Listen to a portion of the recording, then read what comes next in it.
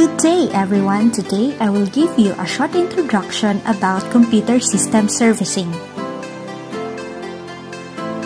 According to TESDA training regulations, the computer system servicing NC2 qualification consists of competencies that must be possessed to enable to install and configure computer systems, set up computer networks and servers, and to maintain and repair computer systems and networks. In the DepEd K-12 curriculum, the Computer System Servicing, or known as CSS, is under the Technical Vocational Livelihood or TVL track.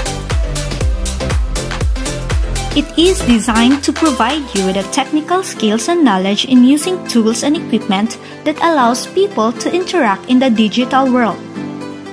The Technical Vocational Livelihood track is consist of four strands which are Agri-Fishery Arts, Home Economics, ICT, and Industrial Arts.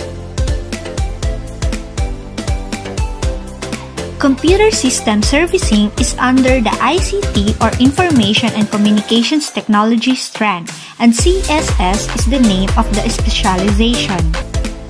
The four core competencies of CSS a student should master are the following installing and configuring computer systems, setting up computer networks, maintaining and repairing computer systems and networks, and setting up computer servers.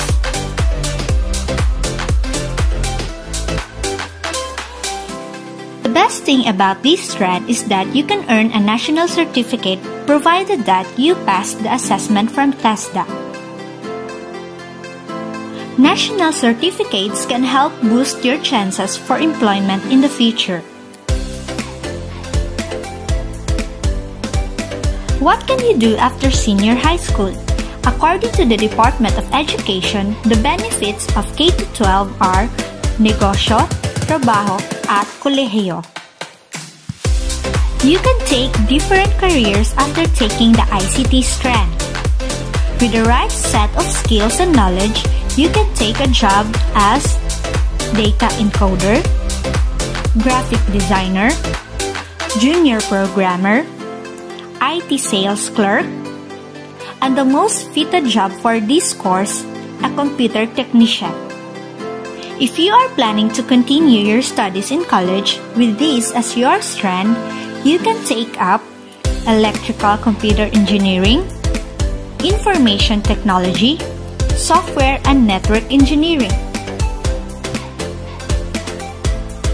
So, is computer system servicing for you?